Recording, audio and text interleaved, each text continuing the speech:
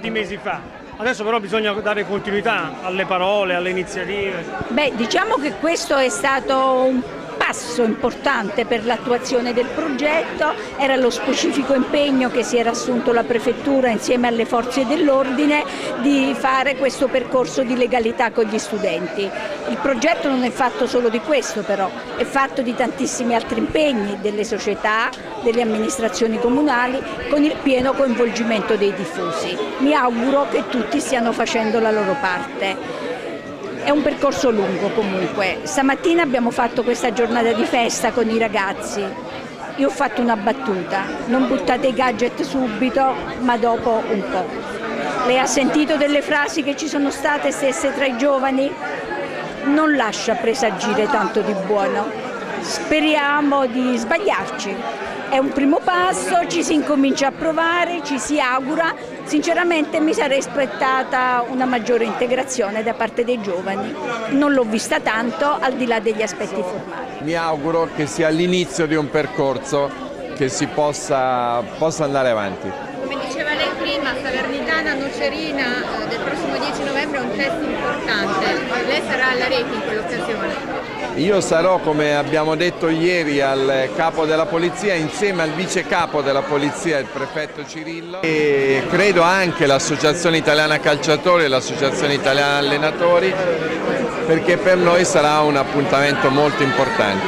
Lei ormai ha stabilito un legame abbastanza forte con questa città, conosce bene anche la realtà calcistica salernitana, che cosa pensa anche di quello che sta facendo la Salernitana sul campo e del pubblico di Salerno? Allora, del pubblico posso pensare solo bene, perché un pubblico così caloroso che il dodicesimo uomo mi sembra evidente.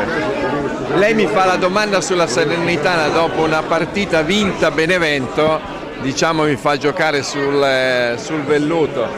Benevento è una grande squadra, che punta ad essere promossa, il fatto che la Salernitana abbia vinto su quel campo è certamente un simbolo e una forza della squadra eh, ci sono tutte le condizioni perché queste città possano salire. A me dispiace per certi aspetti, però logicamente sono felice per, eh, per la città di Salerno di, che possa salire, ecco, bocca al lupo.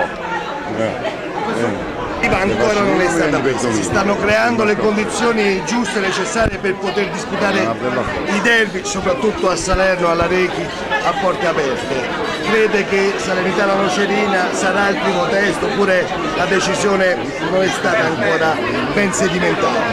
Allora, come è scritto nella convenzione, le tifoserie e le città